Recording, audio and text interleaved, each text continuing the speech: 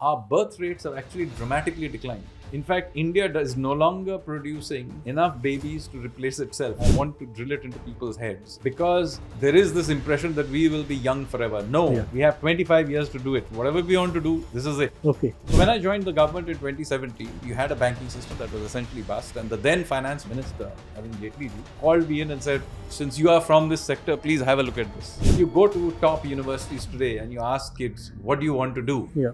That has changed. When I was there, they either wanted to go abroad or they wanted to write UPSC. Yeah. Now you, you know the brightest kids want to do a startup. Yeah. This government has its ears open. We see the problems arise, we fix them. Then another set of problems arise, we keep fixing them. When I was born in the early 70s, Kolkata was the most important economic hub in India. Yeah. It was one of the most important industrial hubs in Asia. Right in front of my eyes, um, it kind of fell apart. Kolkata didn't die, it was murdered, and I'm a witness to that murder. Hi, this is Siddharth Ahluwalia. Welcome to the Neon Show. Today I have a super special guest with me. Today we are going to discuss about economics, policy making in India. I welcome Sanjeev Sanyal sir to the Neon Show. So just to give you a background about him, uh, Sanjeev Sanyal is economic advisor to Prime Minister Modi, and he's part of the think tank that is setting up the policies for India on the economic front. Super excited to have you, sir, today. Ple- very pleased to be here, Siddharth.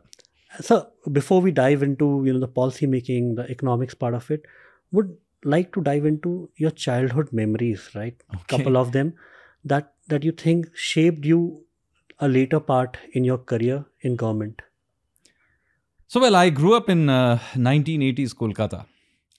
Um, and I suppose uh, my strong distaste for uh, socialism and communism comes partly from the experience of watching how uh, Chief Minister Jyoti Basu and uh, the communists basically uh, destroyed uh, not just the economy of Kolkata and West Bengal, but you know the entire intellectual, cultural uh, sphere uh, to a point that uh, uh, Kolkata has no, never recovered from that shock. Um, and so when I was born uh, in the early 70s, Kolkata was the most important economic hub uh, in India. Yeah. It was one of the most important uh, industrial hubs in Asia. And uh, within my, right in front of my eyes, um, it kind of fell apart. And I always say that, you know, Kolkata didn't die, it was murdered, and I'm a witness to that murder. So that happened, and that had a big impact on me. And then when I was at university, uh, of course, uh, the Soviet Union collapsed, and we our own economy collapsed, and we were forced to do the 1991 reforms. So uh, you know, many of those experiences certainly had a big impact in the way I uh, view the world. And that's why you went to work for Deutsche Bank for a large period of your time. No, that had nothing to do with that. I mean, I, I didn't expect to be in policy making, uh, but I, you know, I went to work in financial markets. It happened to be that I ended up in Deutsche Bank after having worked in another place. But yeah, Good. And and when government came knocking on your door to be a financial advisor, right? How was your first reaction? Because that meant a complete change in lifestyle, but additional more responsibilities. So certainly, I mean, it's an opportunity to be a part of the India story at a major turning point in history. Um, I personally have a huge respect for Prime Minister Modi, so it's of course a privilege to be able to work with him directly in this way. So, um, you know, I was definitely happy. And yeah, sure, that you have to, you know, uh, there's a drop in your salary and all those kinds of things. But you know, frankly, uh, this uh, you know, it's a it's an opportunity to be a, a, a part of history, Yeah. and that is priceless. And uh, you know, uh, right now we are going to discuss a lot of technical terms like you know, uh, GDP, recession. But would love to if you could explain these terms to let's say a ten year old kid, like in your own language. Well, we can explain it along the way because if I explain, you know, all of economics, I can't do it. But let's say the term GDP. Well, GDP is basically a measure of the uh, value generation of an economy in a particular year. It's not a stock; it's a flow. This is important. It's like the if you added up the incomes of the entire economy, uh, whether it's from salaries Yeah. or from profit or from and so on, uh, it should add up to uh, GDP. So it's it's the value generation of the economy as a whole. So not of any, and then of course you you can take it from uh, any specific sector, uh, the generation of power. So when you are saying GDP grew by this much, that means the full national income grew by so much. That's basically what GDP means. And and uh, what what do you mean by liberalization? Right, that's a very important term. That's so of course it's a general term. Uh, uh, it's an English word, uh, but specifically in in the Indian context, we tend to uh, talk about liberalization as the process of reform that started in 1991. In order to understand what that meant, it meant that you had to understand what happened before that.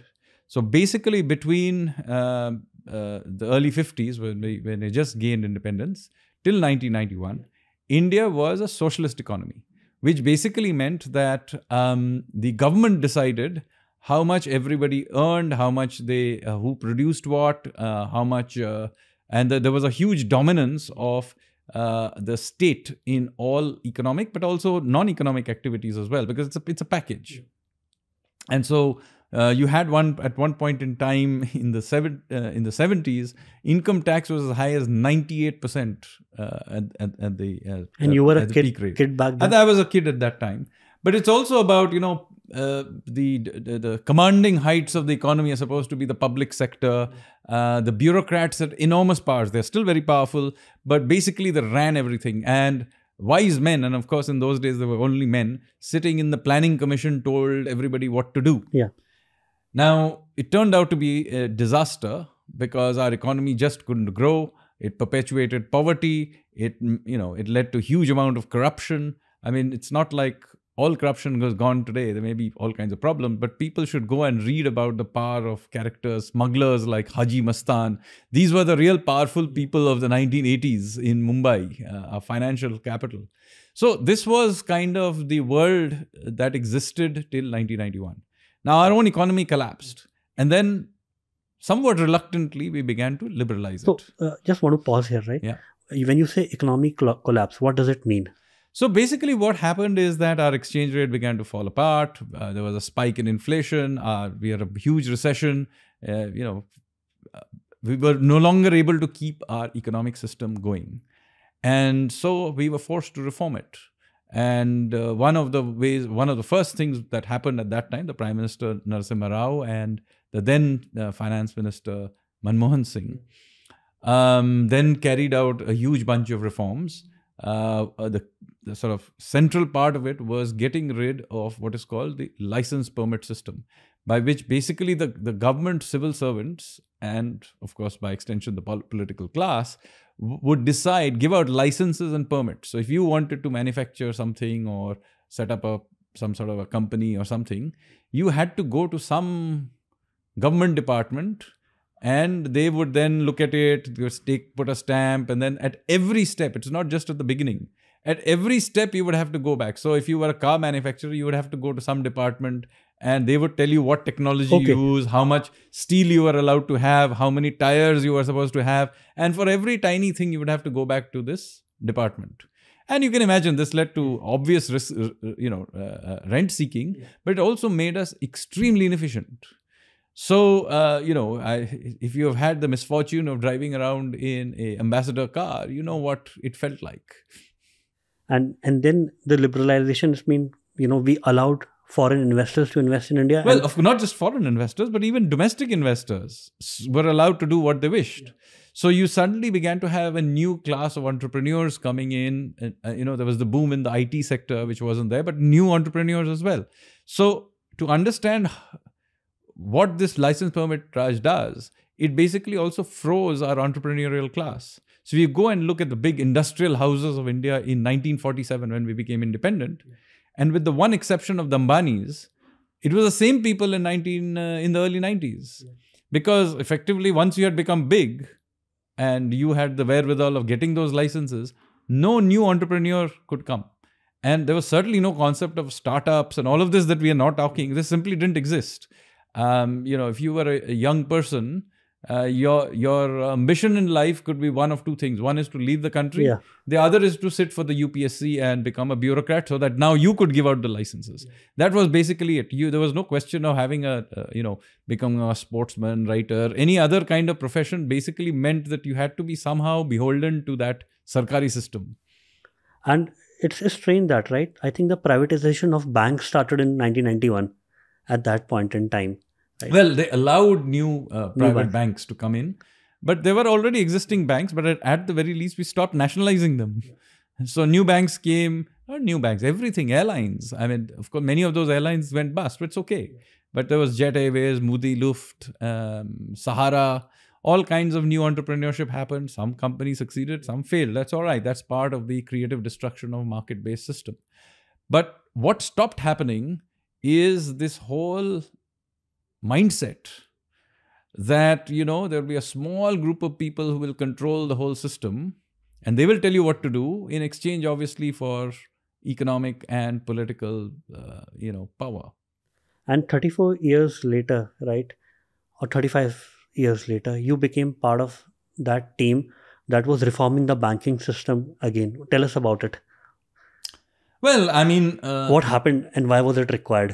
Okay, so uh, to understand this, you have to understand the sequence of uh, all the entire liberalization process. So first of all, what happened is that you had this burst of reform in 1991 to 93. But once those initial reforms happened and the benefits of that began to accrue and the economy stabilized, uh, there w- then after that the, they stopped doing reforms. The reason for that was very simple. We hadn't actually embraced reforms. We had done reforms because we had been forced to do it. And even though it was obvious, even at that time, that we were benefiting from these reforms, the intellectual class, the so called uh, economics gyanis of that time, weren't sold on it. So, what happened is that once we did the reform, bare minimum reforms needed to be done and the economy stabilized, we stopped doing reforms. So now, other than one sort, one or two things we did along the way, basically we didn't do reforms. So what happens is the momentum got lost. So, and then, of course, the Asian crisis also happened in 97, 98. So although we weren't part of the Asian crisis, our economy also began to slow down and the momentum was lost. And generally, you know, okay, fine, we had a good time, but that was it. Luckily, we got a new prime minister, Prime Minister Vajpayee, and he also then did a bunch of reforms uh, around about uh, 2000, 2001, 2, 3, that. Yeah. N- And that was the first time we began to create new infrastructure Yeah. and all, you know, uh, seriously think about global infrastructure. You talked about the golden quadrilateral, etc. So then you got some momentum of growth generated out of that as well. Ironically, the uh, prime minister who then came to power was um, Manmohan Singh, the guy who had actually done the original Yes. set of reforms. But in his tenure, he didn't do very much. And so what happened, you got the momentum from the Vajpayee reforms, you got some years of very high growth. And it also happened to be a particularly good time uh, for the world economy. You know, you had the Goldilocks year. So the combination of the two meant that there was a period in the last uh, Vajpayee years and into the next few years, about four or five years of very solid growth. But even that, by 2006, was beginning to uh, lose momentum. And then in 2007, you had the global financial crisis, and that. The problem was that our response to that was not to do more reforms, but instead to keep this momentum going by somehow pumping up the banks. So there was a period from 2006 up to about 12, so five, six years, when in response to a slowing growth, the authorities of that time basically opened up the banks and basically said, you go and blindly lend everywhere. And so some part of that uh, capacity creation, investing, etc., was good. Yeah. But then after a while, because you had no restraint on the system, there was a huge amount of misallocation. So even though that process began to be somewhat tightened from 2013 or thereabouts, the enough damage had been done that by tw 2013, 14, 15, you could clearly see that there was a huge amount of NPAs building up on the banking system. And certainly by the time I joined the government in 2017, this was you know one of the big issues in the government. So of course, this is where um, you know I can uh, I can save it a little more personal because I was a part of the of the story at that point. Uh, so when I joined the government in 2017, you had a banking system that was essentially bust, and the then finance minister, uh, minister um, Arun Jaitley ji, uh, so he called me in and said, "Since you are from this sector, please have a look at Yeah. this." So I looked at it, and then there was a huge pile of NPAs, as you all know, you know, uh, tens of thousands of crores. For our listeners Yeah. who are basic, right? Huh. NPS is the What is an. NPA? NPA is a non-performing asset. Yeah. This is this is an asset. This is a, a, a- debtor who has taken loan and is no longer able to repay it. So he's gone bad. It's a bad loan at this juncture. And there's so much of it that's now threatening the stability of the banking system and not just the banking, even the non banks had lots of this. So now what do you do with this? So there were many ideas. So one of the ideas that was floating around then, which was popular with, uh, I think it, if I'm not mistaken, um, the then chief economic advisor was also very keen on it, but others were as well.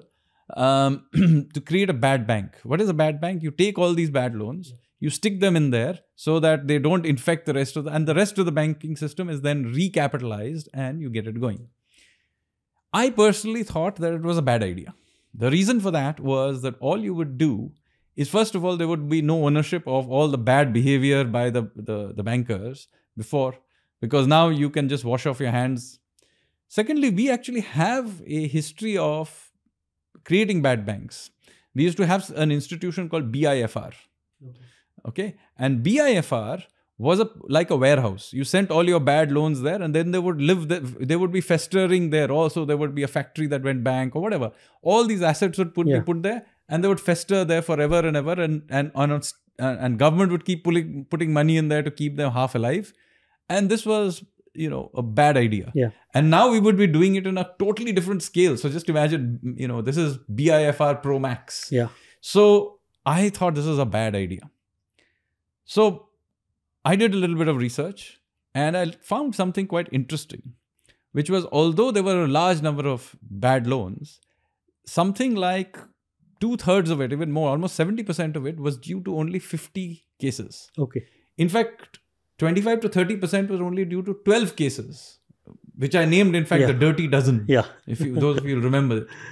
So I went back to Yeah, yeah. and said, look, why don't we take them through the insolvency and bankruptcy process? Now, the argument against this was that the insolvency bankruptcy had the process had just been created.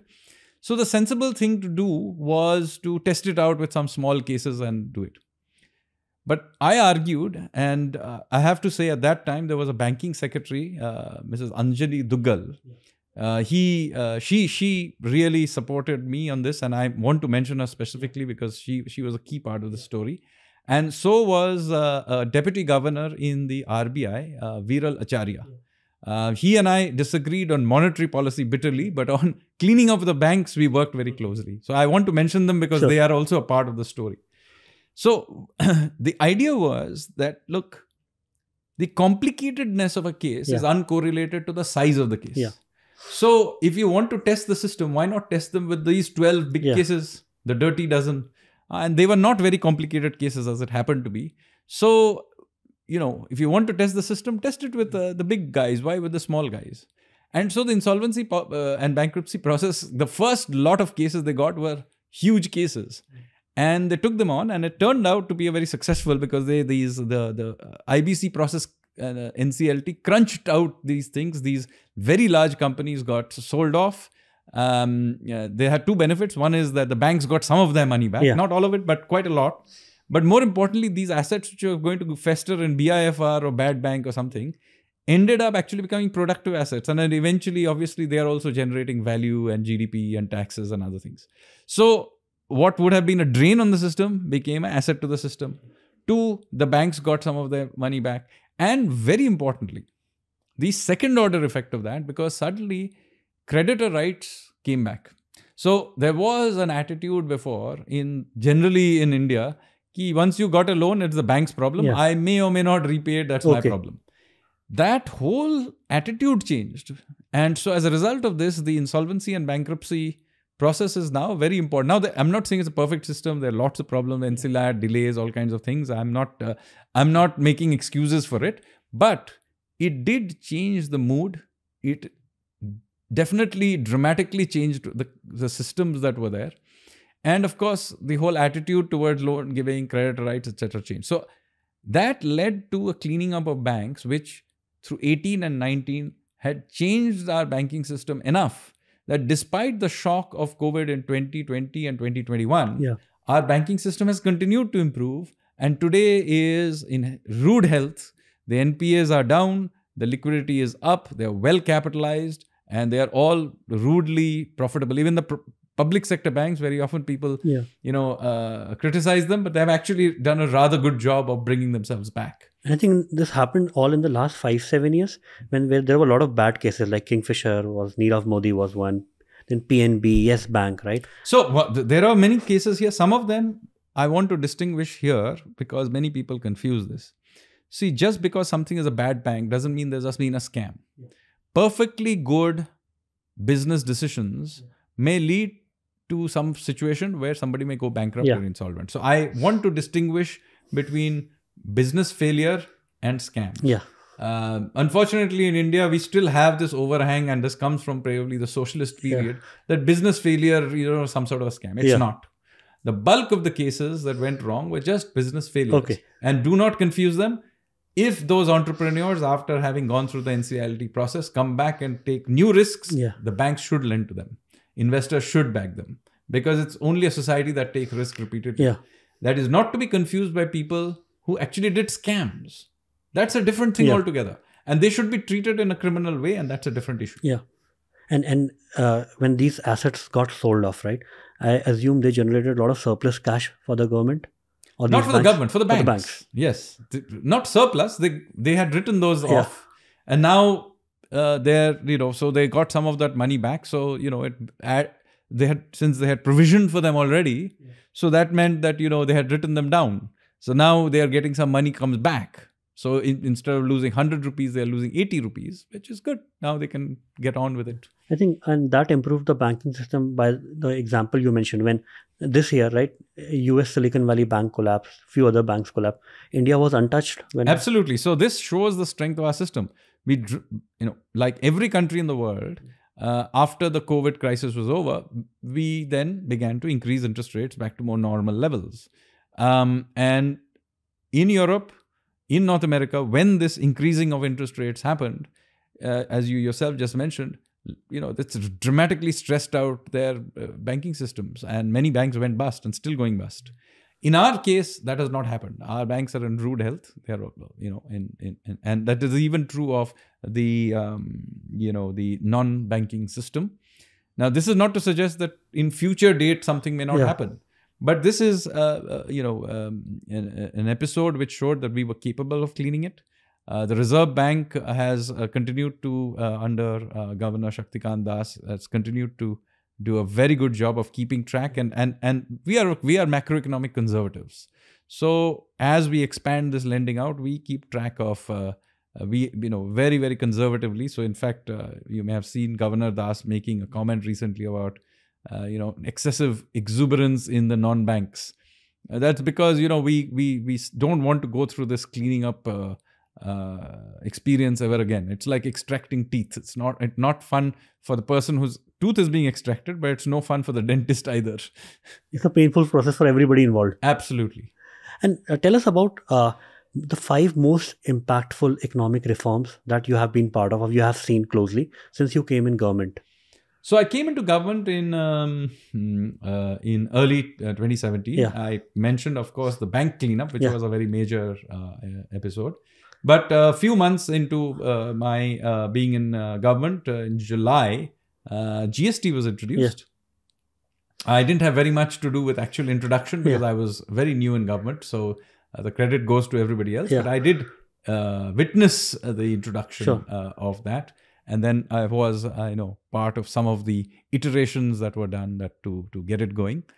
Um, then we were, uh, uh, uh, uh, uh, then um, you know, there was a whole bunch of other reforms that happened during that period, which I think are smaller reforms, but they are very critical because I'm a big believer in something called process reforms, which is small nuts and bolts reforms, which may inf- influence some small segment and the you know may not make it to the f- front pages but these add up.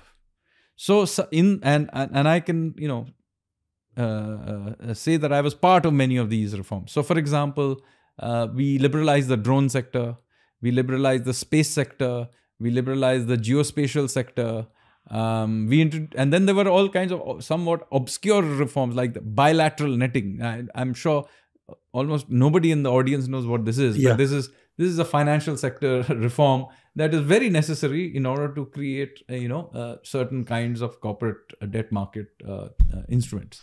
So you know the the small steady doing of these small nuts and bolts process reforms has been a very important thing. And some of these things are now beginning to be, you know show up. So for example one thing that i was very much involved in is dramatically expanding our patent system. It's still ongoing. Yeah. it hasn't not finished. We are still doing it but you know in 2016 we were giving out only 9000 patents a year. Okay. Okay. Last year, we gave out 35,000 patents a year. This year, we will do about between 50 and 60,000 patents a year.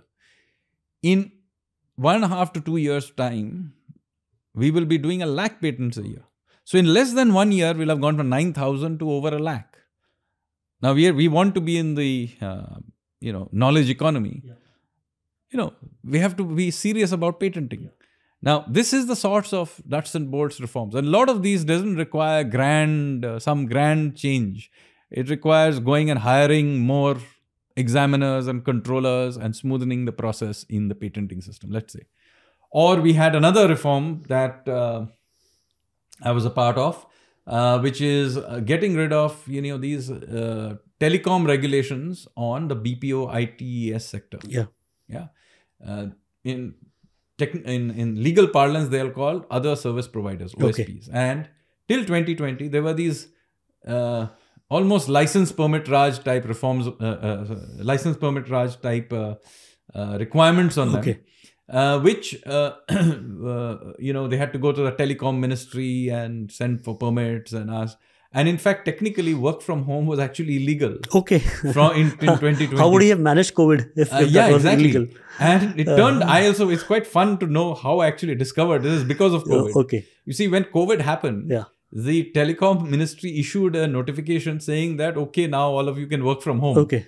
Now, I have worked in government long enough to realize that there's something extremely suspicious Yeah. when a ministry says that you're now allowed to Yeah. work from home. So I thought I, we were all allowed to work Yeah. anyway. Yeah. So I looked up that thing and then I realized that, in fact, the law said that you couldn't. And in fact, you had to, have an EPABX machine in your basement in order to uh, work from home. What is what is that? machine? Exactly. What is an EPABX machine? It's a 1980s, 1990s machine, but you had to have one of them in your in your basement to work from home.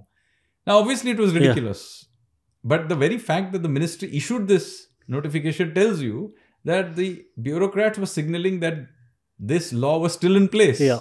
It was yeah. If, if somebody tells you that uh, you know you can now do it for the next eight nine months, that means what they're telling you after the nine months these laws apply. And you don't know what laws apply. No, no, those laws were there. And, uh, you know, while individuals may not have been influenced, but if you were a back office operator, or uh, back office uh, offshoring Yeah. group or uh, doing ITES, it applied to you and you had to go to permissions. And it was something like 70, 80% of the time of a management time of some of these uh, back uh, BPO Yeah. operators was used up uh, keeping track of these regulations. So, once I discovered that, then of course I took it up with the authorities, and you know, once your your eyes have set to it, we began to do those reforms, and yes, those reform, the, you know, liberal, lib, that got liberalized, and subsequently in the years 20, 2021 and 22, the, those sectors dramatically grew for two years because you had removed these uh, Archaic. archaic regulations. Yeah. Now there are many such things that can need to be further done, but I'm just pointing out to you. None of these required great genius. You don't need Nobel laureate Yeah. theories or something like that. These are mostly you can see the blockage in the system. It requires you to roll up your sleeves, climb in, figure out where in the system the blockage is, and tweak those things till that flow happens. I think I really appreciate the effort that the government brought in external experts like you to figure out that because you could see it with a fresh pair of eyes.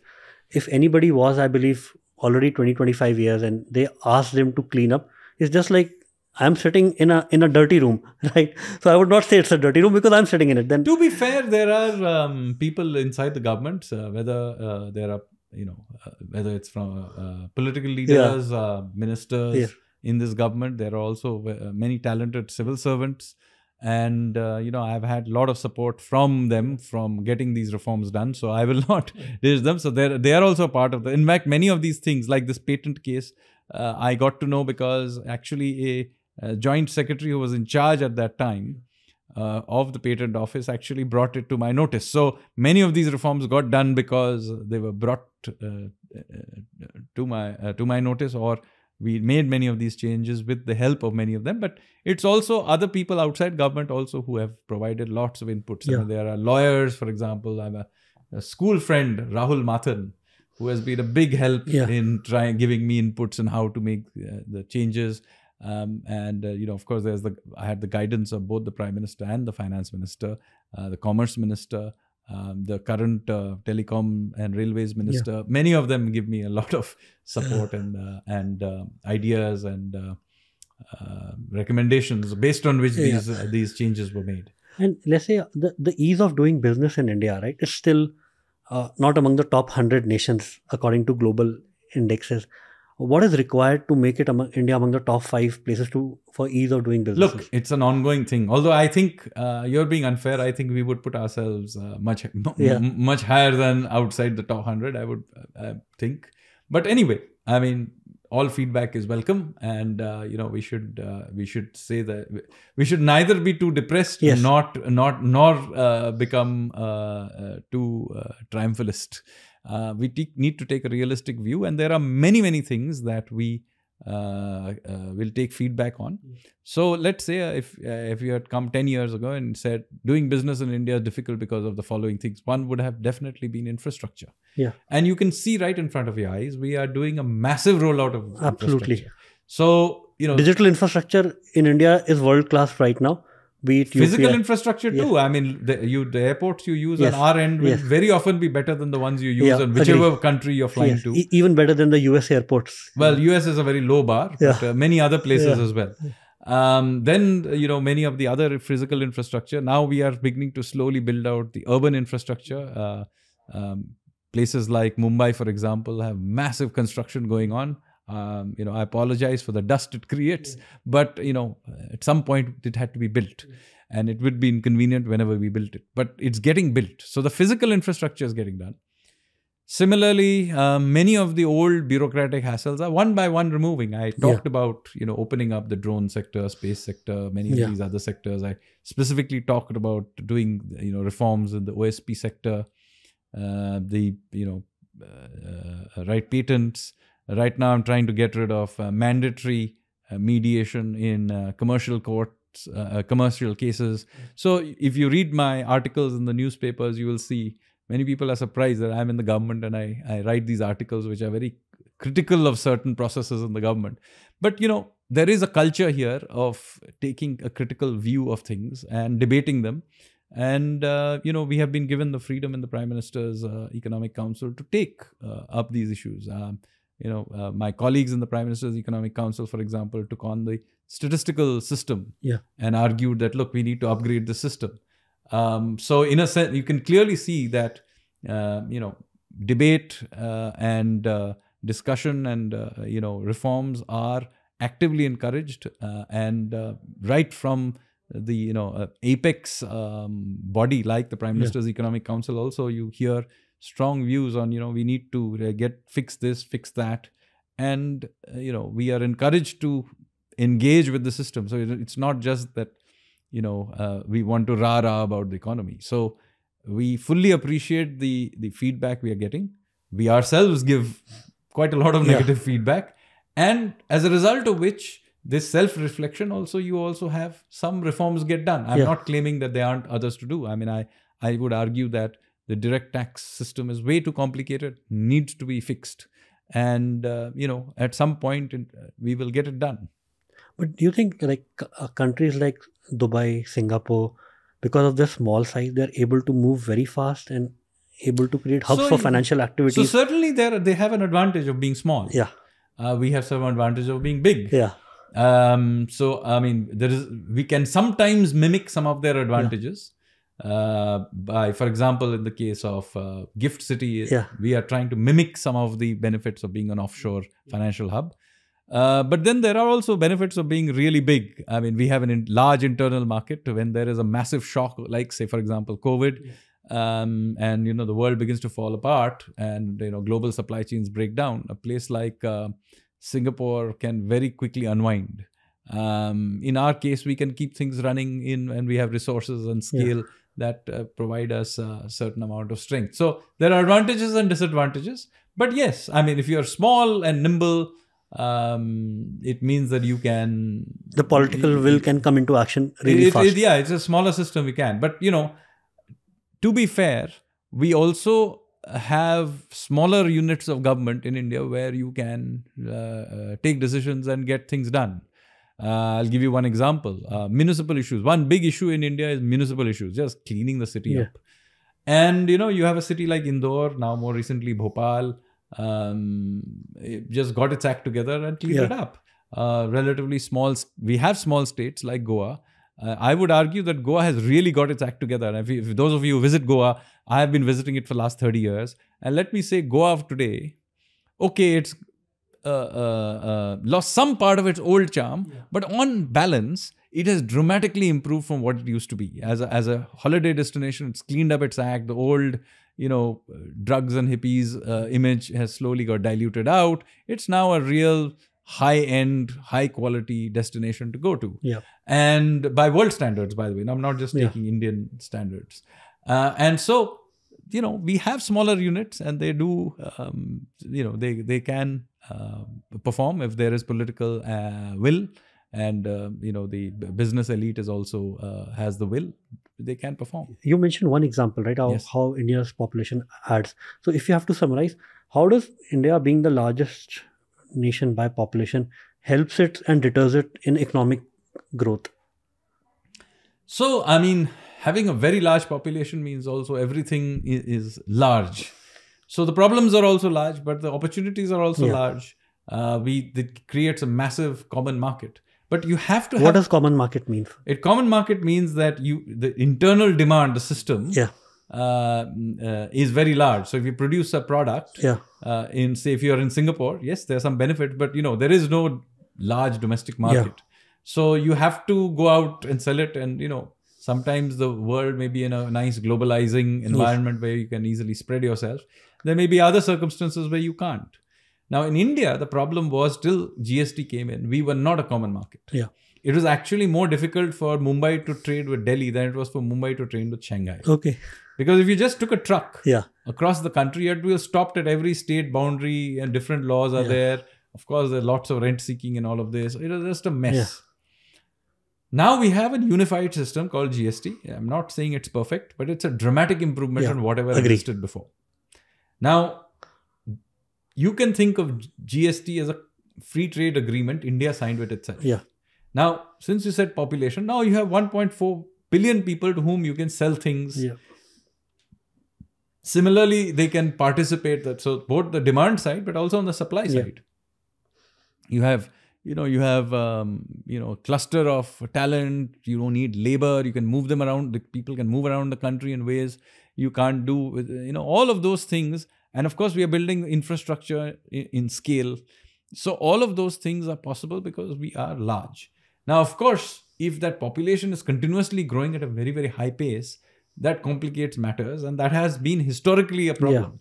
But let me also say, and many people don't realize this, our birth rates have actually dramatically declined.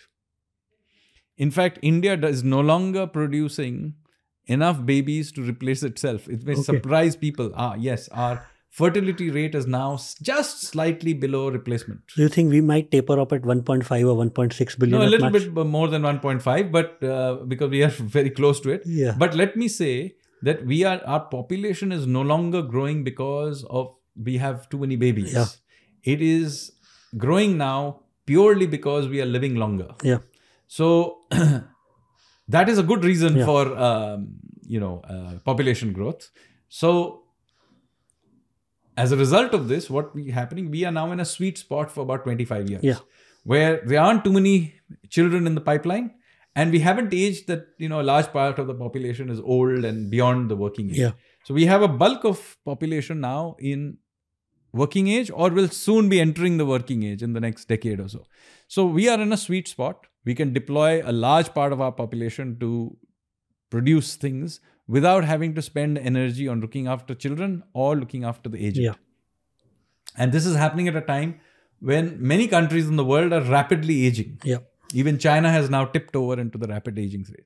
So this is why, you know, when we when Prime Minister says Amrit Kaal, it's not just about the coincidence of the next 25 years being, you know, the 75th to the 100th year of independence. Yeah. It coincides as it happens to be with our demographic peak. But we have to take advantage of it. And also remember that it also will come to an end. At the other side, we too will age. Yeah. Okay. It also means we need to do some things very, very quickly. And we need to understand that changes the dynamics of many things. There are already states in India which have already begun to age, like Kerala or Himachal shortly. Yeah. There we and we have to begin continuously change our mental dynamics for this. So there are parts of the country where you need to actually shut down schools. People don't realize this. We may have too many schools, there are not enough children in those villages and so on to participate in the schools. So we have to con- so we cannot be emotional about these things. Yeah. We need to look at what is actually happening. And in some parts of the country, we actually have to uh, flip it and you know encourage births because there are not enough children being Or relocate more young people. relocate to those places. Maybe those states have to take a view that they, they are happy to import more people. Yeah. Or um, there are parts of the country, for example, in the uh, hill states, where entire villages have been emptied out. We now need to actually find ways of populating people along the border areas to make sure that there is adequate populations living there. Other than just the military presence, you need populations living there. So there are all kinds of issues that happen as the demographics flips. You, you mentioned briefly about right the Amrit Kaal, the next 25 years could be again where India becomes Sone ki chidiya. Ah, right. What are the factors, like the global factors? So India is working hard. The Prime Minister, you are working hard. The population is working hard. We as entrepreneurs or investors are working hard. But what are the global factors? Like because timing has to coincide for a lot of things for that to happen. Like if we remember and recall, you are a historian as well, right? So India became the trade route during the So look, we have historically been a very major part of the world uh, economy. Yeah. And it's not for nothing that the Indian Ocean is called the Indian Ocean. It's named after a country. It's the only ocean in the world named after a country. The reason for that is that you know Indian merchants, mariners, etc., were sailing all over the world, uh, trading, and we were the engine of world growth. In fact, uh, you know, till about a thousand years ago, one third of the world's economy was India then that number kept declining um, um, through the centuries, through the Mughal period, even though many people think of that as a golden period. Uh, let me say that even during that period, our share of world economy Yeah. was uh, declining. In fact, that, China went past us at about 1500. And then it kept declining. But even then, we were a very, very large part of the world economy as till about 1820. And then it just drops off as the colonial experience, you know, deindustrializes India. But interestingly, it will shock people to know that our share of world GDP was around about 4% at independence. But after independence, also it kept declining. Okay. So this is the thing that you know you have to understand how we let ourselves down in the first 50 years of independence. For half a century, our share of world GDP declined. So by the time we were liberalizing our economy in the early 90s, the share of world world GDP had dropped a little bit below 2% of GDP. So at independence, we are 4%, down to little less than 2% at in when we begin to liberalize economy. Then since then it has slowly been drifting up. And we are actually now just a little bit above about 4 5% of GDP uh, world GDP which is actually brings us back to where we were at independence. Yeah. that's all we have done in the last 30 years of growth. We've just gone back to where we were. And that, that is also roughly true of uh, our position in the world in per capita terms Yeah. also. We are just about where we were. We are still a very poor country but term as proportion of world uh, incomes we have basically regained our place where we were at independence. Of course the rest of the world had gone far ahead. We have begun to now catch up. From here on we are actually now beginning getting into the zone where we are climbing the stairs. So as you yourself pointed out we are now the world's fifth largest economy in dollar terms, US dollar terms, nominal. In purchasing power terms, which is if you adjust for the fact that different things are cost differently Yeah. uh, in different parts of the world, we are already the world's third largest economy. Now, in dollar terms, we will go past Ger- Germany in about 18 months to two years' time. In three to three and a half years' time, we will go past Japan. Then we will be, however you measure it, the world's third largest Yeah. economy. This doesn't mean that everything has been solved. We will still be quite a poor country because we ha- we have the third largest economy, but we have the largest population. Yes. So once you divide one by the other, we are still a lot poorer than um, you know Western countries, but much better than before. And even with and and, and even just having size has some benefits. For just the sheer size of the economy means that we can negotiate with the rest of the world in a Yeah. very different way. Our place in the world is different. Our passports will become more powerful. Yes. Also, you know, the revenues the government Yes. is raising goes up. So even if we are doing, you know, transfers to the very poor, let's say, Yeah. our ability to do it goes up. Our ability to create infrastructure goes up. Uh, so all of this is being generated by that same growth engine that is uh, uh, expanding the economy. So we have to keep this going. No messing with this. Yeah. And without, you know, doing what we did, you know, blow up our banks or do anything which uh, in any way interferes with macroeconomic stability. This is a compounding process. And those of you who know compounding, you, I'm sure you learned compound interest rates in class 8. Uh, the key thing, if you experiment with compounding, you will learn is that that compounding process really gathers pace over time. So it's really about maintaining that, you know, this year, for example, we will grow at about 7%. Yeah. Um, now, that is the world's fastest growing growth rate. But in this one year, 7% doesn't matter.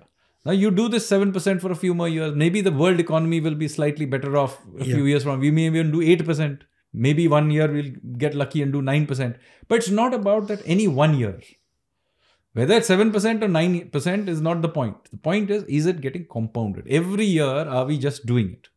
And so, do this over 25 years, and you'll be surprised how dramatically the thing goes off. I mean, even China, we everybody's saying, you know, it's now the world's second largest economy, it's now competing with the US, all that. All of this is about compounding.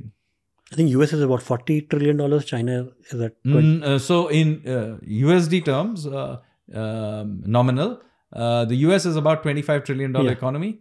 Uh, the China is somewhere about 18, 19 trillion dollar economy. not, so, not very far behind. yeah, I mean, it's in the same scale. It's a little bit behind, but it's in the same scale. Uh, in PPP terms, by the way, China is already bigger. So, uh, you know, China is a serious player, but it has got here, let me also clarify, through the same process of compounding. In 1990, they were just a little bit uh, larger than us as an economy. We have since 90, since the liberalization of the 90s, we have grown actually rather well. In fact, I would say for any large economy, probably second only to Yeah. China itself. But China has grown by a few percentage points higher, and that compounding effect means that they are in a totally different place from us. So now that has just flipped, just now flipped. This year, last year, this year, we are now growing a few percentage points higher than them. That is all that is needed. Just compound this for a few years. And certainly, if you do it for 25 years, a totally different thing. But even if you did it at the end of this decade, we know we will be rapidly catching up. And and China also follows a different version of socialism. Well, they firstly their economy is totally not socialistic, except for the idea um, of political control at the very top. Yeah. So they have got a mixed bag, uh, and since uh, the, the the they began to really live, they began to do their economic reforms much before us. They started in 1978, and in the initial years when you had Deng Xiaoping and others, uh, this was done very much, even though state control was used, uh, but there was a sense that you know economic efficiency, entrepreneurship, risk taking, etc., shouldn't be interfered with. In the last few years, there has been some change in the dynamics of it, and you may have seen that the uh, the central government of China has gone back to being much more interventionist Yeah. And that is by the way has you can see the effect of that already Yes. yeah, I mean, the, their growth has slowed down. The, they are having their own problems in their banks. Um, you know, some of their top uh, uh, uh, entrepreneurs, you know, Jack Ma, for Yeah. example, has simply disappeared from, uh, um, you know, uh, uh, the, the, the front pages. So, you know, the, the fact that in the last few years they've tried to go back some way, in some way, has already showed you the the price you have to pay for unnecessarily unnecessary top down control. And and I believe between 2010 to 2015, China was the place where Indian businessmen were going for imports to learn manufacturing. no look china is a serious player in the world economy. Even today we may have our uh, geopolitical frictions with them or whatever but we can't wish them away. Yeah. i mean we still import large amounts of components from them and you Even know, after the Make in India initiative that yes even with that and will continue to be for a while. Of course there are areas where they do obvious dumping etc so Yeah. we will protect certain parts of our economy from from dum- dumping and unfair practices. But to say that we can wish away china is uh, you know we can't. You know we we may have our differences with them but we will still trade with them as indeed does the us i mean us has even bigger geopolitical concerns about china and they still trade with them and so does japan. So it's not that we can wish them away but yes whatever we do we have to do with our eyes open. And and what about do you think can India in in if you have ever you know uh, thought it or given serious thought to it that can India be a 20 trillion dollar economy at some point in time in future? Look, the whole game is about compounding. Yeah. So you know, you you choose the growth rate we think we can do, and compound it. So in uh, if I'm not mistaken, if you take a PPP perspective of things, we are already a 12 uh, trillion dollar economy. So you know, it it is the case that we can get there if exchange rates were more uh, PPP driven, then we would get there. But um, you know, if you compound it over a period of time, yes, absolutely, it's it's something we can uh, aspire to. But you know, it's not like it's, it's some God-given uh, certainty. Uh, it requires that over a period of an entire generation, we put in that effort. And because what I'm saying that number, because at that number, imagine a twenty trillion dollar economy with two billion population. Uh, uh, First of all, I don't think we'll ever have a two, Okay. two billion population. As I said, we are not producing enough children Yeah. already to be able to sustain the current population. Uh, so while our population may go up a little bit long, uh, more because of longevity growth, uh, population will probably max out at 1.6 and then very rapidly then begin to decline. Uh, because um, you know, as I said, our birth rates are in fact uh, now no longer at uh, replacement rates. yeah, yeah. But but the, the important thing that I'm trying to to get to is the the income of a common man by that time, you're just dividing the GDP by the population, will be like ten thousand dollars in the USD. So I think we will reach uh, ten thousand dollars, but not with the population uh, benefit. I, I keep coming back to this, and I want to drill it into people's heads because there is this impression that we will be young forever. No, Yeah. we have twenty five years to do it. Whatever we want to do, this is it. okay, After that, we too age. Okay, number one, and our population will not be growing, and at some point it will be declining.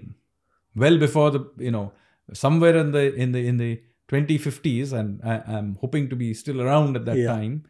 Um, it will begin to decline. So uh, don't count on population being uh, the bulwark of uh, prosperity into the future. wow. So that's why you are always coming back to that. We have only twenty five years to do Yes, this demographic thing lasts 25 years. Make it during this time. It is now. And What are we doing in 2023 and 2024 right now on the policy level, on implementation level, when there's almost a global recession triggered by printing money in the US, two wars at the f- first time in the history of the world after the World War II. That's not true. There have been many war, wars. But at this scale, since yes, yes, there you know At- Vietnam War, this war. There have been but, many wars. but these are two wars going together. At the well, there were many wars. I can assure you. If you go back and look at the 60s and 70s, there were many wars going on, and there have been since then too. And the war more recently in Afghanistan and Iraq was going on. So the world has always had wars. But yes, the, right now we have two wars. They are uh, certainly uh, unhappy things, and they affect oil prices and and other things that uh, we depend on. And, and and China is almost like a threat to us, and our neighboring nations like Sri Lanka has gone bust, like Pakistan has gone bust. Absolutely. So you know, if we had followed those kinds of uh, the kinds of policies our uh, you know us academics were telling us Yeah. to do we would have also been in sri lanka's position let me tell you this so thankfully we did not do that but right now what our game is look first of all things are going great here right now domestically Okay. and, And all what do you mean by it? Let's take some anecdotes. so, for example, if you look at the latest number that came out just now for the second quarter, which Yeah. is the July to September quarter um, of the financial year, it, you can see that we grew at 7.6% year Okay. on year. That's a massive real growth. Um, in nominal terms, it's even higher. And then you also had, um, you know, the industrial sector in particular, the construction sector is growing. So these are solid numbers coming through, and it is happening without any help from exports Yeah. because exports are actually mostly flat. Uh, they had grown in the previous year, particularly services, but now they are flat. So, without the benefit of a global environment that is expanding, Yeah. we are managing to hit for the full year. We'll probably hit something like seven percent. That's a really solid growth rate. Easily makes us us the fastest growing Yeah. economy in the world, and very importantly, we are doing this without stressing the macros of this economy. So there is no spike in overall inflation. Yeah, tomo- tomato prices may go up and come down, but there is no sustained inflation. Similarly, our external accounts, our current account, our trade balance, etc., they are not blowing up in any Yeah. which way. Uh, we have 600 billion dollars in foreign exchange reserves, so we, you know, the the external sector is not under stress. Our banks, as we have discussed before, they are in decent shape. So all, we are doing this seven percent. It's it's like we are jogging Yeah. and doing this 7%. Uh, we may not we may now get an opportunity at some point in the next few years where let's say the world is in a better place. Let's say they'll be cutting interest rates, the world will be growing and so on. In those circumstances, we can do 8% plus growth rates. But I wouldn't try to do it right now. My most important thing right now is to make sure that we continue to build out the infrastructure. We keep doing these reforms. I mentioned all these small, thousands of small reforms we need to do to make ourselves more efficient. Get our private sector and multinationals who want to move to India to Yeah. build capacities, and then wait for that boom period in the world economy. Then we will make hay. Meanwhile, take advantage of the fact that we are a large domestic economy and build out that capacity. And and the last question is what what uh, percentage of you know your time or at the entire economic advisory time goes into thinking about startups, right? That hey, US, some some uh, part of our time, yes. I, I just want to highlight that the the US is what it is today, uh, and what has role played. The far the four largest companies in the US today are all startups of their generation: Apple, Google, Microsoft, and Amazon. Right. So is India thinking of building? Uh, Absolutely. We are fully, you know, it has required us almost a generation since the 1991 reforms to create a culture which is risk taking, innovation. If you go to top universities today and you ask kids, what do you want to do? That has changed. When I was there, they either wanted to go abroad or they wanted to write UPSC. Now, you, you know, the brightest kids want to do a startup. So there has been a major change in risk taking. And when I say startups, I don't mean only you know some guy doing some technology thing. Even somebody doing something like what you are doing is a startup. Somebody wants to go and take a risk in a completely different field, want to be a sports person or wants to be a writer. That's also a startup of a type. So I am talking about the culture of risk taking, and that has definitely come back in India. I mean, that they, there is a real energy that you can feel when you go out and meet young people uh, trying to do all kinds of things. And I spent some time thinking about it. Um, look, some of the problems I need to solve are generic to everybody, startups or not. I mean, improving the patenting system of the system uh, of uh, India is good for startups. It's good for non-startup uh, existing companies. But they have specific problems. For example, you know, lots of problems relating to taxation. For example, Angel taxes. angel tax. We try and keep fixing them. I won't say they get fixed in Yeah. one shot. We'll keep doing it. But what I want to say is, uh, this government has its ears open. We see the problems arise, we fix them, then another set of uh, problems arise, we'll keep fixing them. This will keep going on, but what really matters is that we really want this innovation driven economy that sort of really drives India. And it is in some ways, this is what our real history is. If you go back and look at our very long history, India's economy has been a economy of startups and innovation. We are the people who explored across the Indian Ocean. Uh, you know, we sent merchants uh, exploring to, um, you know, the Middle East. We had them going all the way through Southeast Asia, all the way through Japan and China and Korea. We have a long history of risk taking and exploration. Uh, um, and of course, we have intellectual risk taking in terms of mathematics and medicine and so on. So we are a culture which is naturally risk takers. We are open minded. Our you know Hinduism is very much about searching for Yeah. the truth. It's not about telling you what the truth Yeah. is. So this culture of risk taking is very much in our in our blood. And finally, we uh, after having let ourselves down for half a century after Yeah. independence, sadly, finally we have built back that culture. And you know that confidence that you are seeing uh, in India today comes from having built back that culture of risk taking.